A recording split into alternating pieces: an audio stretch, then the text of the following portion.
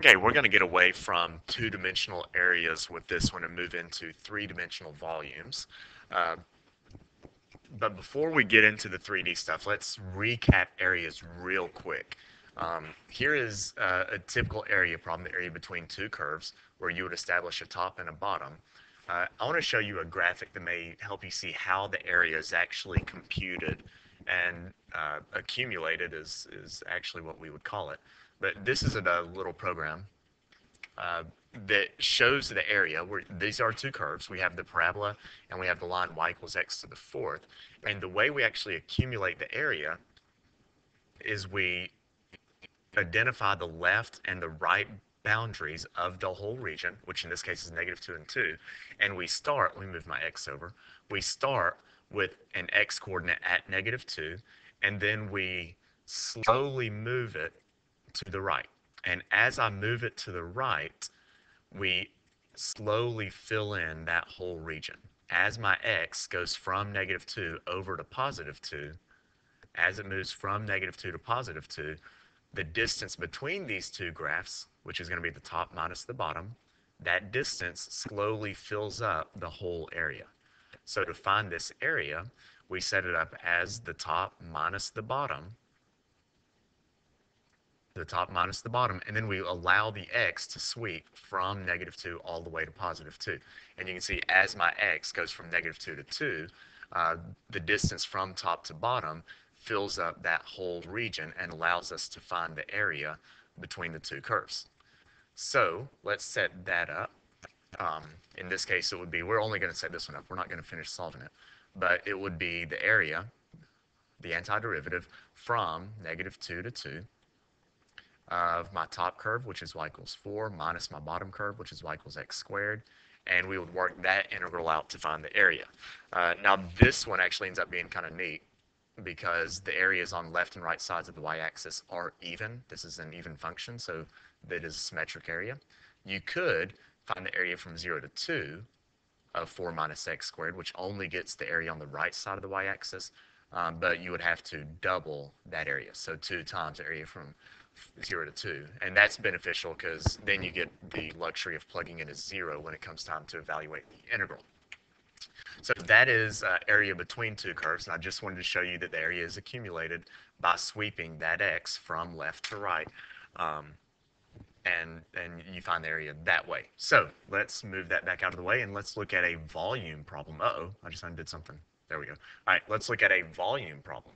Uh, the way we're going to find volume is I'll start with the region just like area, and this region is square root of x, the x-axis y equals 0, and x equals 9. And we're going to take this region, and we're actually going to rotate that region around the y-axis, or the x-axis. So I'm going to take, it's almost like I'm taking the x-axis and I'm spinning it like a top. And when I spin it, this is going to create a three-dimensional solid. Now this is very hard to visualize and it's hard to draw a 3D shape on paper. Um, but I can maybe illustrate it with this. Uh, we have the graph of y equals the square root of x. Um, I have this point at x equals 9 and this one at x equals 0. And what we'll do is we're revolving that region, that blue region around the x-axis. So let's revolve it so we can look at the shape and see what it looks like. And there it comes. There you can see the revolved region. looks kind of like a bullet, um, if it's okay for me to be violent. Uh, so there is our region, and our challenge is to find the volume of that region. Um, we're going to do it very, very similar to the way we found the area. Hey, oh man, where'd it go? Okay, come back. We're going to do it very similar to the way we found the area between two curves. So I have that volume what I'm going to do is I'm going to take this cross section. It's it's the equivalent of the distance from top to bottom on the area curve. I'm going to take this cross section, and you get the cross section almost like uh, pretend you have a knife, and I were to just cut straight through this region.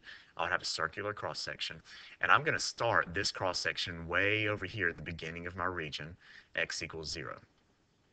My cross section is a circle. As I sweep that cross section, as I sweep it across my region, that circle fills up the whole volume. And so what we're going to do to find the whole volume is we're going to actually start with the area of a circle. And I'm going to think of it almost like I'm stacking plates. So I'm going to stack a plate right here. and I'm going to find the area of that plate. And then I'll move and get the next plate, and I'll stack it on top of it. I'll find the area of that plate. And then we're going to stack plates, stack plates, and we're going to find the area of each of these circles as we stack the plates. And those areas combined, when I add up all of those areas, it will eventually accumulate and fill up the whole volume. So let me copy this in, and I'll stop right there. All right, so here we are. So the way we're going to get the volume of this is we identify the cross section. In this case, it's a circle, and that's where the disk came from. I told you this was volume by disk. This is a disk, and the uh, what I'm going to do is I'm going to find the area of a disk. Well, it's simply a circle, so the area is pi r squared. And what we're going to do is we're going to add up all of those areas from my beginning point to the ending point. Well, in calculus, when you add up a whole bunch of stuff, that's the integral. We add, and uh, if you remember way back in the day, I showed you that the elongated s is actually an s representing the sum. We're going to find the sum of all of those areas of the circle from my beginning point, which was x equals 0, all the way to my ending point, which is x equals 9. Um, now, I am moving from left to right. That's moving across the x-axis, which makes this a dx problem. The challenge I have now is I have to get my radius in terms of x because this is a dx problem. Uh, while I'm looking at my graph, this is my radius right here. Right there is my radius. That was stupid. I shouldn't have done that in red. I'll do it in, I mean, shouldn't have done that in white. I'll do it in red. There's my radius. My radius goes up to my equation, which is the square root of x.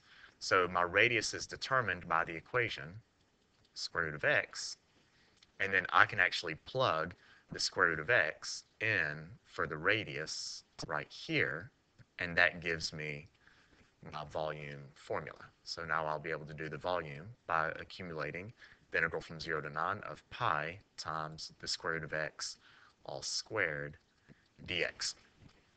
What I will do to make this problem a little bit easier, uh, I usually pull out my constants. This is the same thing as pi times area from 0 to 9. And the square root of x squared is simply x dx. And that is an insanely easy antiderivative if you can get to this point. Um, so what we'll do is we'll find the volume by accumulating the area of the cross section. And in this case, all of our cross sections are going to be circles. Uh, then we'll finish working this out. That'd be pi antiderivative of x, x squared over 2, evaluated from 0 to 9. So that'll be pi times, plug in 9, 9 squared over 2 minus 0 squared over 2, and that is the volume of your region. Yeah, yeah? Kind of tough on the first one. So eight minutes in, we've done one problem. Yoo All right, uh, let's try a different one. The volume of the solid generated when this region right here, this time we're rotating around the y-axis. So if I were to rotate this around the y-axis, see now I'm taking this y-axis, I'm spinning this way, what's going to happen is we'll end up with a volume or a region that looks like this. See, let's flip this, flip. It's going to revolve around that way, and I'll have a three-dimensional shape that looks like this, and this is going to look kind of like a tornado, like a little funnel. So let me draw in a cross section. This time I would cut it left and right. If we spin around the y-axis, I'm going to cut my cross section left and right, and this is what my cross section looks like. I'll make this back dotted just so we can kind of see that that's in the background. I don't know if that did any good or not. Um, so I draw my region. I find the shape of my cross section. This is another disk. Only this time we're spinning around the y-axis. Whenever you spin around the y-axis, that means this is going to be a dy problem. Uh, you could also think of it as being dy because as you stack the plates, we're going to start our first plate down here, and then we will slowly stack them up. And we'll find the area of each one of these circles as we move up. And if you're moving up, your y's are changing. So I'm going up. That is a change in y, which is why this is a dy problem. Um, well, the area of a disk is pi r squared. This is a circle. I simply need to find the radius, and you always draw your radius back to your original function over here. And this function is y equals the square root of x. Uh, so it's going to be, let's see, this is pi times it'll be the antiderivative of my r squared. This is a dy problem. So pi r squared. The problem with this being a dy is that my equation is in terms of x. So I actually am going to have to solve this equation, dy problem. I've got to get everything in terms of y. So I'm going to square both sides, and I know that y is equal, or y squared is equal to x, and that's actually what my radius is. The radius is determined by this equation right here, and that is the equation x equals the square root of y. So my radius is the square root of y, and then I can plug that in to the antiderivative. So pi antiderivative of y squared, that's my radius, all squared, dy. And then for my limits of integration, if we're moving up, I'm starting at a y coordinate of 0, and then I'm going to stack these plates all the way up until I get to a y coordinate of 2. And there is the antiderivative. Um, our radius was y squared. Then we have to square the radius. And we'll work this one out. So pi, antiderivative 0 to 2, y squared squared is y to the fourth. And again, you have a very easy antiderivative. Usually these integrals are easy. It's the setting up that's difficult. So we'll do the power rule, y to the fifth over 5, evaluated from 0 to 2. So that'll be pi times. Uh, 2 to the fifth is 32, minus 0 to the fifth, and there's our answer. Yeah, yeah, yeah. Uh, our general strategy when we're doing these volume problems, our general strategy um, is first to sketch the region, you want to determine whether it's a dx or a dy problem, and that depends on how you're stacking your plates. If you're stacking them from left to right, then it's a dx. If you're stacking them up, then it's a dy. Uh, identify the shape of the cross section. Uh, for now, we're only going to do disks. We will change that in the future. But for now, we just have disks. Uh, find the formula for the area of that cross section, which if it's a disk or a circle, that's pi r squared. And you have to make sure you get the equation in terms of the appropriate variable. Uh, if it's a dy, you've got to get your radius in terms of y. That's what I had to do on this problem. If it's dx, like the first one, your radius has to be in terms of x. And then uh, once you do that, you integrate the formula that you get for the cross section across whatever the interval is that we're going to use. All right, so there were two more problems I wanted to try. Um, this one, the volume of the solid generates generate generated when the region in the first quadrant, so we're only looking in the first quadrant, that's kind of important. Um, we have the graph x plus 2, x equals 1. Oh, I left off x equals 1. I need to draw that one in. X equals 1 would be about right here. There we go. And we're rotating that region um, around the x-axis. Well, if we're spinning around the x-axis, um, then let me rotate that and give us our region. All right, so there is our region. So we rotated everything around the x-axis.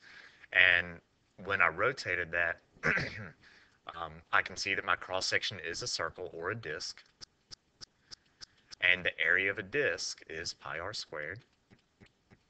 Okay, my disks are going to stack across from left to right. I'm going to have my very first cross-section right here at the beginning and then I'm going to move ever so slowly to the right. So if I'm moving from left to right, and I'm adding up all of these areas, going from left to right, that's a change in x. So this is a dx problem.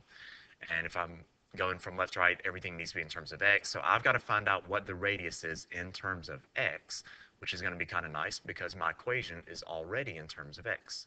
My radius of this circle the radius does go up to the function, and my function is x plus 2. So my radius is going to be x plus 2. Uh, so when I plug all of this into my integral, I'm going to do the antiderivative. I like to go ahead and pull the pi out of r, which is x plus 2, all squared. And I'm going to start stacking my very first plate at this boundary, which was x equals 1. And I'm going to finish stacking when I get to x equals 3. And now we will evaluate this antiderivative. We will first have to square it out. This one's a little bit tougher than the rest because you have to actually expand something. So that'd be x squared plus 4x plus 4. But once you get to this point, it is simply the power rule. and I decided to go ahead and just pause and work it out. You should be able to do these antiderivatives at this point. Um, it's the setting up that's going to be different. So uh, there's number three, and the very last one I wanted to look at. Um, we have a uh, the cubed root or y equals x cubed, y equals 8, and we're going to rotate this thing around the y-axis. So to get that region, I rotate, rotate this around the y-axis, it would look like this. So it would flip left and right, and we'd have a, a shape that looks like this, and your cross sections. Uh, this time I'm going to cut my cross sections left and right through whatever the axis of rotation is, and my cross sections are going to look like this. I'm going to have a cross section like that.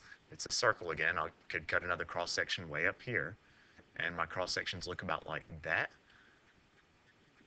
Can see I kind of like to make the back of it dotted so it looks more like that's in the background. I don't know. Am I just being silly? Am I wasting my time? I'm not wasting my time. I'm wasting your time. Take that. All right. Uh, so we have uh, the cross sections. My cross sections again are disks. I know that's very redundant at this point because that's all you know. Uh, since I am spinning around the y-axis, my plates, I'm going to stack these cross sections up from the bottom up to the top. That's a change in y. So is a dy problem. I know the area of a disk is pi r squared. And I need my radius in terms of y. Now my radius does go from the center out to this function. But the problem is my function right now is in terms of x. I need to solve this to get it in terms of y. So if y equals x cubed, that means x equals the cubed root of y, or y to the one-third. So there's my radius. And I'll plug all of that into an antiderivative. I times antiderivative of r squared, so y to the one-third, all squared. This is a dy. And if it's dy, my limits of integration need to be values of y also. We start at a y coordinate of 0. And we're going to stack plates until I get all the way up to my top border, which is y equals 8. And then before I'm ready to integrate, we'll go square this. So y to the 1 third squared is y to the 2 thirds. Still a power rule. Has a fraction, but it is still a power rule. And here's your answer. There you go. Um, so you're doing the same thing every time. Find the cross section, find the area, uh, determine if it's dx dy, and we're going to stack those cross sections. We gonna? Did I just say that? We are going to stack those cross sections up, uh, and we'll figure out more of this in class at some point in your life before you graduate. Yeah.